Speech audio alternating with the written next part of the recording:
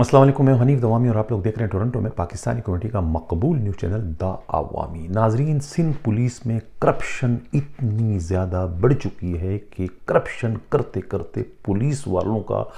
खून इतना सफ़ेद हो गया है कि उन्होंने अपने पेटी बंद भाइयों को जो कि शहीद हो चुके थे, उनकी शहादत के नतीजे में जो कंपनसेशन की रकम सिंध हुकूमत और ख़ुद सिंध पुलिस की जानब से उन शहीदों के वर्षा को देना थी वो रकम में भी इन पुलिस अफसरों ने डंडी मार दी और नौबत ये पेश आई कि मामला जो है वो नेब हुकाम तक पहुँच गया और नेब हुकाम ने जो है सिंध पुलिस के वेलफेयर डिपार्टमेंट के ख़िलाफ़ बड़े पैमाने पर तहकीकात का आगाज़ कर दिया है। ये तहकीकात जो है 2012-2013 से लेकर 2016 तक शहीद होने वाले पुलिस अहलकारों के कंपनसेशन से मुतक है। इस सिलसिले में मालूम ये हुआ है कि सबसे पहले जो है वो एक लेटर जो है यकम अक्टूबर 2019 को नेब हुकाम ने सिंध पुलिस को भिजवाया था, जिसके नतीजे में जो है, जिसके जवाब में आईजी सिंध ने जो है 9 अक्टूबर 2019 को उसका जवाब दिया और फिर 11 अक्टूबर 2019 को कुछ पुलिस अफसरान जो है नेप के दफ्तर में पेश हुए रिकॉर्ड के साथ और उनका वहाँ पर तफसीली बयान भी कलम बंद किया गया, जिसके बाद अब जो है इस फराड और गबन के मामले में तेज़ी आ गई है और दोबारा से जो है नेब उकाम ने जो है पुलिस के जो वेलफेयर डिपार्टमेंट के जो एआईजी वेलफेयर और डीआईजी फाइनेंस और इनके अकाउंट के जो अफसरान हैं, उन तमाम को एक बार फिर बयान कलमबंद करने के लिए बमा रिकॉर्ड के तलब कर लिया गया है। इस सिलसिले में हमारे नुमाइंदे हमराज राही का कहना है कि जो सारा जो मामला है, इसकी शुरुआत एआईजी वेलफेयर एसएसपी अली शेर जाकरानी से शुरू होती है। अली शेर जाकरानी के मुतालिक जो है, उनके जो डीआईजी होते हैं 2012 में फाइनेंस के दो सली बलोच, वो इनके गबन को सबसे पहले पकड़ते हैं और उनकी रिपोर्ट करते हैं और एक तफसीली रिपोर्ट जो है, वो अपने आईजी बाबर खटक को भिजवाते हैं। उस दौर में भी उन पर जो है, कुछ पीएसपी अफसरों की तरफ़ से ये दबाव होता है कि वो इस तमाम कार्रवाई को रिकॉर्ड पर नहीं लाए, उसको यहीं पर ख़त्म कर दे, वरना पुलिस के जो अफसरान हैं, वो माशरे में किसी को मुँह दिखाने के लायक नहीं रहेंगे कि ये रिश्वत में इतने ज़्यादा गिर गए हैं कि इन्होंने अपने ही पेटी बंद भाई जो शहीद हो चुके थे, उनकी जो कंपनसेशन की जो रकम है, उसको भी हड़प करने में कोई कसर नहीं छोड़ी। ये उन पर दबाव था। दोस्त अली बलोच पर, लेकिन दोस्त अली बलोच ने जो है उन दबाव को खातिर में लाए बग़ैर अपनी तफसीली रिपोर्ट जो है बाबर खटक आईजी से इनको भिजवा दी थी, जिसके बाद जो है उन्हें ये जो अली शेर जाकरानी हैं, इनको इनके अहदे से वहाँ से तब्दील कर दिया गया था। बाद अजा इस सारे मामले की तहकीकात होती रही और मामला बिल आखिर नेब के सुपुर्द कर दिया गया। इसलिए कि ये जो गबन था, ये सिर्फ़ सिंध पुलिस के वेलफेयर डिपार्टमेंट तक ही महदूद नहीं रहा, बल्कि ये सांगड़ के एसपी जो थे उस वक्त के अब्दुल्ला शेख, उनके बारे में भी ये शिकायत आ चुकी थी कि उन्होंने भी बहुत सारे जो शहीद होने वाले पुलिस एहलकारों की कंपनसेशन की रकम उनके वर्षा के सुपुर्द करने के बजाय वो रकम अपने अकाउंट में मुंतकिल करके अपने इस्तेमाल में वो लाते रहें। ये इल्ज़ाम जो है अब्दुल्ला शेख पर भी उस ज़माने में लगता रहा। अब हमारे नुमाइंदे हमराज राही को जो है, वो इस मामले में जो मज़ीद कुछ रिपोर्ट सामने आई है, वो इस तरीके से है कि ये जो जाकरानी है, अली शेर जाकरानी, इनका एक बेटा अवेश जाकरानी, ये 10 सितंबर 2014 को डाकयार्ड नेवी के अंदर एक जो उनका बहरी जहाज़ होता है अलप्रकार वहाँ पर एक खुदकश हमला होता है और उस खुदकश हमले के नतीजे में जो खुदकार, खुद बम्बार जो हलाक होता है, उनका नाम अवेश जाकरानी मालूम होता है जो कि अली शेर जाकरानी जो एसएसपी है, इनके साहबजादे बताए जाते हैं। जिस वक्त ये इवेंट हुआ, तकरीबकारी का, उस वक्त जो है, अली शेर जाकरानी जो है हज मुआविन ड्यूटी के सिलसिले में सऊदी अरब गए थे। जब ये वाक़ हुआ तो उस वक्त नेवल हुकाम ने उस वक्त के C C P O Karachi Ghulam Qadir Thebo को बुला, बुलाया था और उन्हें कहा था कि ये जो बम्बार इस दहशतगर्दी के वाक़े का ज़िम्मेवार है और जो इसमें मारा जा चुका है, ये बम्बार जो है, आपके एक एसएसपी जो हैं, अली शेर जाकरानी का साहबजादा है और उन्होंने इस दहशतगर्दी के वारदात में न सिर्फ़ पुलिस की गाड़ी का इस्तेमाल किया है, बल्कि इस वारदात में उन्होंने पुलिस का असला भी इस्तेमाल किया है, जिसकी वजह से जो है ग़ुलाम खादर थेबो जो है उस वक्त उनका सर शर्मिंदगी से झुक गया था। और इसके बाद जो है उन्होंने जो है वहाँ से टेलीफोन करके जो है सऊदी अरब में जो है एसएसपी अली शेर जाकरानी को इस सारे वाक़े की इतला दे दी। हमारे नुमाइंदे हमराज राही का कहना है कि जैसा करना, वैसा भरना। अली शेर जाकरानी का अपना रिकॉर्ड भी कोई ज़्यादा और अच्छा नहीं, जहाँ उन्होंने शहीद पुलिस एहलकारों की जो है कंपनसेशन की जो रकम थी, उसमें उन्होंने डंडी मारी, उसको हड़प करने में उन्होंने कोई तामुल से काम नहीं लिया, कोई उसमें शर्मिंदगी उन्हें नहीं, वहीं पर उन्होंने अपने मौसन को भी डसने में देर नहीं लगाई। इसके बारे में ये मालूम हुआ है कि अली शेर जाकरानी जो है, उनको जो है, उस दौर के जो आईजी थे मुश्ताक शाह, उन्होंने लीगल ब्रांच में एआईजी लीगल की हैसियत से उनकी वहाँ पोस्टिंग करा दी थी। जिसके बाद जो है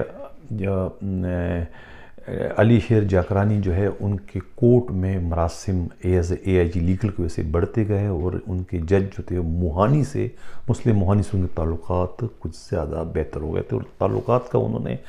कुछ इस तरीके से इस्तेमाल किया है कि उन्होंने उस दौर के जो मुश्ताक शाह आई जी थे, उनके साहबजादे डी एस पी साले शाह को उन्होंने मुलाजमत से बरतरफ करा दिया था। इसी तरीके से एक मरहूम डीआईजी थे अज़ीज़ बिल्लो, उनके दो साहबजादों को उन्होंने मुलाजमत से डिसमिस करवाया। इसी तरीके से जो जेलर नुसरत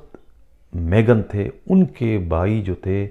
कमाल खान बेगन, जो कि बम धमाके में कायदाबाद के इलाके में शहीद हो गए थे, जिसके बाद आसिफ अली जरदारी ने उनके दो बेटों को जो है पुलिस में डीएसपी के से भर्ती कराया था। उन तमाम लोगों को जो है मुलाजमतों से बरतरफ करने में जो किरदार था, वो ख़ुद अली शेर जाकरानी का था। ये मीडिया रिपोर्ट्स के मुताबिक भी थी और ख़ुद पुलिस के बाखबर ज़राए का भी कहना था कि ये सब का सब कारनामा जो है, इन तमाम लोगों से को पुलिस की मुलाजमत से निकलवाने का जो सहरा था, वो अली शेर जाकरानी, एसएसपी के सर जाता है। जिनका अपना बेटा जो था, वो अवेश जाकरानी, वो इंतहा पसंद मजहबी जमात से था और उन्होंने जो है अफ़गानिस्तान से दहशत गर्दी की ट्रेनिंग भी हासिल की थी और उसके बाद वो डाक यार्ड में जो है नेवी के एक बेरी जहाज़ पर बम धमाका करते हुए ख़ुद उस धमाके का शिकार होकर वो हलाक हो जाते हैं। एसएसपी अली शेर जाकरानी के साहबजादे। अली शेर जाकरानी के बारे में मालूम हुआ है कि ये निसार कोड़ो जिस ज़माने में वज़ीर थे, उनके ये पर्सनल असिस्टेंट थे और उन्हीं की सिफारिश पर जो है, उस दौर के जो चीफ मिनिस्टर थे अब्दुल्ला शाह, उन्होंने इन्हें जो है पुलिस में डायरेक्ट डीएसपी भर्ती कराया था। यानी कि इनकी जो पुलिस में आमद है या पुलिस में इनको भर्ती करने का सेहरा जो है, वो निसार कोड़ो पीपल्स पार्टी के जो सीनियर रहनुमा है, उनके सर जाता है। उन्होंने इन्हें जो है वो डीएसपी की एस से अपॉइंट करवाया जिसके बाद ये सारे के सारे मामला आगे बढ़ते रहे। यानी कि पुलिस में जो शहीद हो गए उन शहीद पुलिस अहलकारों की जो कंपनसेशन की जो रकम थी, यानी जो उनको सिंध हुकूमत की जानब से जो मुआवजा, उनके वर्षा को और ख़ुद सिंध पुलिस की जानब से जो मुआवजा उनको के वर्षा को दिया जाना था, वो मुआवजा उनके वर्षा को देने के बजाय ये जो अफसरान थे, ये आपस में ही बांटा करते थे, हड़प कर लेकर जो कि करोड़ रुपए में जाकर बनती है यानी करोड़ रुपए इन्होंने इस तरीके से डकार लिए बग़ैर हज़म कर लिए, जिस पर जो है, अब जो है नेब हुकाम जो है, उस पर तहकीकात कर रही है। और मैं नेब हुकाम का बड़ा मशहूर हूँ कि उन्होंने हमारे प्रोग्रामों से को पर को देखते हुए या उनकी संजीदगी से इन प्रोग्रामों को देखा और उसके बाद जो है हमने जो इनकी शफात की थी अपने प्रोग्रामों में एस एस यू में जो माली बेजाबतगियाँ हैं और ख़ुद सिंध पुलिस में जो माली बेजाबतगियाँ उसका उन्होंने नोटिस लिया और अब ये मालूम हुआ है हमारे नुमाइंदे हमराज राई को कि एस एस यू में जो गपले किए हैं, उनके एक अकाउंटेंट के काम करने वाले क्लर्क फ़ारूक ने, जो कि ख़ुद भी पहले एक बार नेब के हाथों पकड़े जा चुके हैं और बाद में वो साढ़े तीन करोड़ रुपए मुबैना तौर पर रिश्वत के अवज़ रहा होते उस मामले को नेब ने दोबारा से रीओपन कर दिया है और उसकी दोबारा से तहकीकात शुरू कर दी। ये भी मालूम हुआ है कि वो पाकिस्तान क्रिकेट बोर्ड से भी एक रिकॉर्ड पिछले दस साल का मंगवा रहे हैं कि उन्होंने पिछले दस सालों में कितना रकम जो है वो एस एस यू के अकाउंट में या एस एस यू को भिजवाया है, उसकी ट्रांजेक्शन उन्होंने मंगवाई है कि ये ट्रांजेक्शन किस शक्ल में जो है पाकिस्तान क्रिकेट बोर्ड से जो है, वो एसएसयू में होती रही है? क्या उसका कोई रिकॉर्ड जो है सिंध पुलिस के पास है या नहीं? इसकी एक अलग से तहकीकात जो है, वो नेब उकाम ने शुरू कर दी है। ये कहना है हमारे नुमाइंदे हमराज राही का। नाजरीन, इससे कबल के मैं प्रोग्राम के अगले हिस्से की जानब बढ़ूँ। जिन लोगों ने अभी तक हमारे इस चैनल को सब्सक्राइब नहीं किया है, उनसे गुजारिश भी है, उनसे दरख्वास्त भी है कि अगर वो चाहते हैं कि हक़ व सदाकत का ये सफ़र इसी तरीके से चलता रहे तो बर मेहरबानी इस चैनल को ज़्यादा से ज़्यादा सब्सक्राइब भी करें, लाइक भी करें और शेयर भी करो। अपने कमेंट्स में ज़रूर अदा करें कि आपको ये हमारा प्रोग्राम कैसे लगा। नाजरीन वेलकम टू बैक हम बात करते हैं स्पेशल सिक्योरिटी यूनिट के बारे में कि जहाँ का निज़ाम कुछ इस तरीके से चल रहा है कि वो शुतर बेमहार हो चुका है। पुलिस के अंदर अगर किसी ने रियासत में रियासत का नक्शा देखना है तो वो जाके स्पेशल सिक्योरिटी यूनिट का एक दफ़ा विज़िट करे तो उन्हें पता चल जाएगा कि ये हकीकत में जो है रियासत में रियासत का नक्शा जो है वो एस में ही आपको नज़र आएगा। जहाँ के डीआईजी जो है मकसूद मेमन है, लेकिन उनकी जो असल पोजीशन है वो है डीआईजी सिक्योरिटी के, जो कि एक सेंक्शन शुदा पोस्ट है। महज स्पेशल सिक्योरिटी यूनिट को अपने दरस, तरस में रखने के लिए, यानी अपने कंट्रोल में रखने के लिए ही डीआईजी मकसूद मेमन ने सबका आईजी जो है कलीम इमाम से अपने ताल्लुक़ का फ़ायदा उठाते हुए उनसे एक सर्कुलर आर्डर जारी कराया था as a emergency service services and security division का। यानी एक पोस्ट उन्होंने क्रिएट कर दी आईजी के हुक्म के मुताबिक। लेकिन बाबा होम डिपार्टमेंट से उसका कोई नोटिफिकेशन ताहाल जारी नहीं किया गया है। यानी इस तरीके से कानूनी तौर पर तो मकसूद मेमन सिर्फ़ डीआईजी सिक्योरिटी हैं और उनके अंडर में सिक्योरिटी वन और सिक्योरिटी टू के अलावा और कुछ भी नहीं है। लेकिन अब इस वक्त जो है वो अमलन जो है वो डीआईजी सिक्योरिटी वन के भी हैं सिक्योरिटी टू के भी हैं, मुहाफिज के भी और सबसे बढ़कर स्पेशल सिक्योरिटी यूनिट के भी हैं। हालाँकि स्पेशल सिक्योरिटी यूनिट कानूनन उनके दायरा कार में नहीं आती। महज उसको अपने दायरा कार में रखने के लिए ही मकसूद मेमन ने आईजी कलीम इमाम से ये एक नई पोस्ट क्रिएट कराई थी emergency service services and security division के नाम से, लेकिन उसका अभी तक जो है सिंध के होम डिपार्टमेंट ने कोई नोटिफिकेशन जारी नहीं किया है। उसूलन जो है एसएसयू का फुल फ्लैश कमांड जो है, वो कमांडेंट जो उनके हैं एसएसपी डॉक्टर फर्रुख अली लंजार हैं। उनके हाथ में पूरा का पूरा कमान है, लेकिन गैर कानूनी तरीके से जो है, वो डीआईजी मकसूद मेमन उस एक सर्कुलर आर्डर का फ़ायदा उठाते हुए अपने आप को इस पूरे तमाम जो एस एस यू हैं और सिक्योरिटी डिवीज़न और मुहाफ़ के डी आई जी ही गर्दानती कहते मैं वहाँ उन सब का डी आई जी हूँ, लेकिन उसका कोई नोटिफिकेशन नहीं इसलिए मैं कहता हूँ, यहाँ रियासत में, रियासत का नक्शा आपको नज़र आएगा। इसी तरीके से डी आई जी मौसूफ ने जो है, वहाँ पर एक अकाउंटेंट है एस एस यू में, लेकिन उन्होंने अकाउंट अफसर की एक अलग जो है पोस्ट क्रिएट कर दी और वहाँ उन्होंने अपने मंजूर नज़र, अपने लाडले क्लर्क फारूक की पोस्टिंग कर दी है एज ए अकाउंटेंट ऑफिसर की। इसी तरीके से जो है वो सब इंस्पेक्टर नसीम को इंचार्ज बना दिया है जनरल ब्रांच का। जबकि ये सर्कुलर आर्डर मौजूद है एक सबका आई जी ए डी खाजा का कोई भी यूनिफॉर्म पर्सन जो है किसी क्लरिकल ब्रांच का इंचार्ज केस से काम नहीं करेगा। लेकिन इस यूनिट के अंदर जो है, ये भी जो है आईजी के अहकाम की वायलेशन है। इनके अपने हुक्मनामे हैं और अपने हुक्मनामों पर ही यहाँ पर अमल दरामद किया जाता है। जिस तरह के आई जी सिंह ने कह दिया भी कि ये जो कोरोना बढ़ रहा है और कोरोना की वजह से जो है, वो आमना कम से कम करें और कम से कम हाजिरी रखें और गैर ज़रूरी लोगों को ना बुलाया जाए। लेकिन उसके बरक्स ये एक वाहिद यूनिट है कि जहाँ पर ज़्यादा से ज़्यादा नफरी को हाजिर रखा जा रहा है, जिसकी वजह समझ से बालातर है। हालाँकि कोरोना की वजह से जो है, पुलिस के दो एसपी जो हैं, एक एसपी अकरम अबड़ो और दूसरे जो है एसपी ख़ुद एसएसयू के एसपी राजा अरशद जो है उनकी वो, वो इंतकाल भी कर चुके हैं इस कोरोना की वजह से। और एक और जो डीआईजी हैं इस वक्त जो है वो साउथ सिटी अस्पताल में जेर इलाज है और उनकी हालत इंतहाई ख़तरनाक बताई जाती है आसिफ एजाज शेख की। लेकिन उसके बावजूद जो है ये जो एस एस यू वाले हैं और डी आई जी मकसूद मेमन हैं, उन पर कोई असर नहीं हो रहा है। वो अपने अहकाम जो है, वो आईजी के अहकाम से बढ़कर जो है, इस्तेमाल कर रहे हैं। इस तरीके से यही मैं कहता हूँ कि ये इनका अपना ही एक अलग सिस्टम है। रियासत में, रियासत का नक्शा जो है, वो एसएसयू में ये पेश करें और ये अपने ही अहकाम जो है, चला रहे हैं। नाजिन चलते हैं अब ख़बर के आखिरी हिस्से की जानब। अब इख्तियार के हवाले से मैं बहुत दफ़ा अपने इस प्रोग्रामों में ज़िक्र कर चुका हूँ कि ये इख्तियार का इस्तेमाल कितनी बेदर्दी के साथ ये पीएसपी अफसरान करते हैं और किस तरीके से ये रैंकर्स की जो है सर्विसेज़ से, उनकी ज़िंदगियों से, उनके जज्बात से ये खेलते हैं। इसी तरीके का एक वाक़ चार पाँच माह कबल डी आई जी वेस्ट जो हैं, आसिम कायम खानी ने रिजविया थाने के एक एसएचओ इंस्पेक्टर इम्तियाज़ बांडे को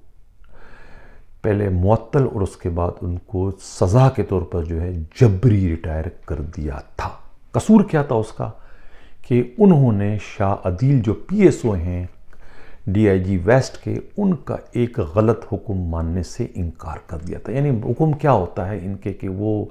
माल मांगा जाता है बत्ता मांगा जाता है, जो कि उस ईमानदार और उस उसूल परस्त जो है एस एच ओ ने जो है उन अहकाम को मानने से इनकार कर दिया। और जिसके बाद जो है डी आई जी आसिम कायम खानी ने जो है एक मन गरट किस्म के इल्ज़ाम जो है अपने P S O Shah Adeel की एक रिपोर्ट की शक्ल में एस एच ओ रिजविया जो है इम्तियाज़ बांडे पर लगाए और उन्हें जो है मेजर पनिशमेंट देते हुए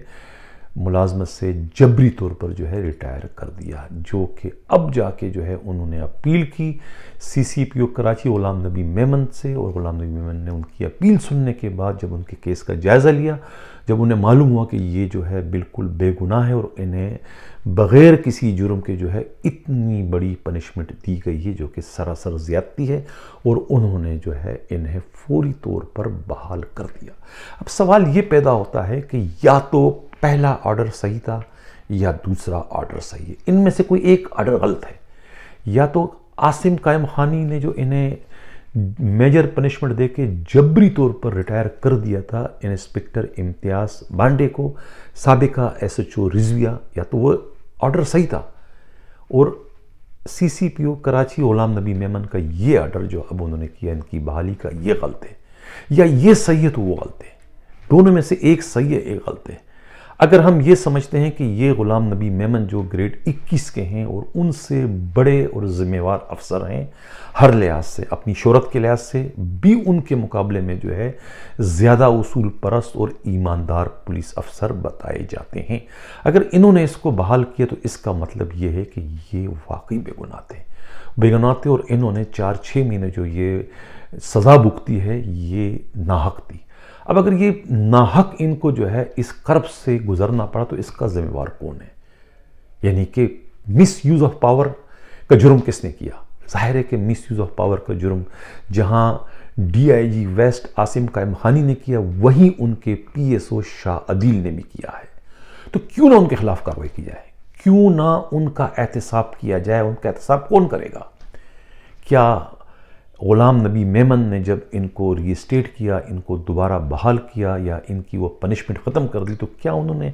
ऐसी कोई रिपोर्ट जो है डीआईजी वेस्ट से मुतक आईजी सिंध को या सिंध हुकूमत को भिजवाई कि ये इन्होंने जो डीआईजी वेस्ट है आसिम कायमहानी इन्होंने मिस यूज़ ऑफ़ पावर की अपने अपने अख्तियार का गलत इस्तेमाल करके एक सीनियर इंस्पेक्टर इम्तियाज़ बांडे, जो इंतहाई ईमानदार और तजर्बाकार हैं उसूल परस्त हैं, उनको नाकर्दा ख़ताओं के अवज़ जो है, बिला वजह जो है, जबरी तौर पर रिटायर किया था। तो उनका, उनके ख़िलाफ़ कार्रवाई क्यों नहीं की जा रही? है ये तो एक वाक़ एक मिसाल मैंने आप लोगों के सामने पेश की है। इस तरह की जो मिसाल हैं, ये इससे सिंध पुलिस, कराची पुलिस बरी पड़ी है। ये पीएसपी अफसरान इख्तियारात के नशे में चूर होकर महज अपनी ख्वाहिशात की तकमील के लिए, अगर इनकी ख्वाहिशात इनका कोई मातहत पूरा नहीं करता, या कोई मातहत इनके ख्वाहिशात की राह में रुकावट बनता है तो उन्हें फिर ये करार वाकई सज़ा देते हुए इन्हें इसी तरीके से डिसमिस करते हैं, इन्हें रिवर्ट करते हैं, इन्हें सस्पेंड करते हैं और तरह तरह की सज़ाएँ देते हैं। लेकिन इनसे, इन सज़ाओं को देने या अपने पावर को मिस करने पर कभी किसी आईजी ने, कभी किसी डीआईजी ने, कभी किसी सिंध हुकूमत ने, कभी किस, किसी होम डिपार्टमेंट ने ये पूछने की जहमत गवारा नहीं की कि ये आपने ऐसा क्यों किया? ये इख्तियार आपको डिसिप्लिन मेंटेन करने के लिए दिए गए ये इख्तियार आपको इसलिए नहीं दिए गए कि आप अपनी ख्वाहिशात की तस्कीन के लिए, अपनी ख्वाहिशात की तकमील के लिए या अपनी अना को बढ़ावा देने के लिए इनका इस्तेमाल करें। लेकिन अफसोस के ये हमेशा से ऐसा होता आ रहा है और ये रैंकर जो है इनकी फरियाद कोई नहीं सुनता। जब इनसे कहा जाता है पीएसपी अफसरों से इनके जो किलर के सर, ये आपको इख्तियार नहीं है किसी भी कन्फर्म इंस्पेक्टर को पनिशमेंट करने का। आप ग्रेड 19 के डी उनको सिवाय आईजी के कोई नहीं कर सकता है। तो वो कहते हैं कि हाँ हमें पता है, कोई नहीं कर सकता, लेकिन हम इनको ये कर देंगे कम अज़ कम ये धक्के तो खाएँगे दो, चार छः महीने सीपीओ के। यानी ये उन्हें मालूम होता है कि हमारी इन सज़ाओं से इन्हें कितनी अजियत का सामना करना पड़ेगा, लेकिन वो ये करते हैं महज इसलिए कि इनको अजियत का सामना करना पड़े और हमारा रोब और दबदबा जो है, इन रैंकर्स पर बढ़ता जाए और ये एक तरीके से जहनी तौर पर जो है, हमारे ग़ुलाम बनकर रहे और हमारी ख्वाहिशात की तकमील करते रहें। ये इस रैंकर्स को एक तरीके से जागीरदार या वडेरे बनकर अपने मजारिक बनाने की कोशिशें कर रहे हैं। यही सब कुछ होता आ रहा है। सिंध पुलिस में, ख़ासतौर से कराची पुलिस में पीएसपी अफसरान यही करते आ रहे कोई भी रैंकर की आवाज़ सुनने को तैयार नहीं है। यही हो रहा है सब कुछ। नाजरीन से कबल के मैं फिर इजाज़त चाहूँ। वही मेरा मुतालबा कि जिन लोगों ने अभी तक मेरे इस चैनल को सब्सक्राइब नहीं किया उनसे गुजारिश है उनसे दरख्वास्त है कि इस चैनल को सब्सक्राइब भी करें, लाइक भी करें, ताकि हक व सदाकत का ये सफ़र इसी तरीके से जारी व सारी रहे। इसी के साथ इजाज़त चाहता हूँ। अल्लाह हाफिज़।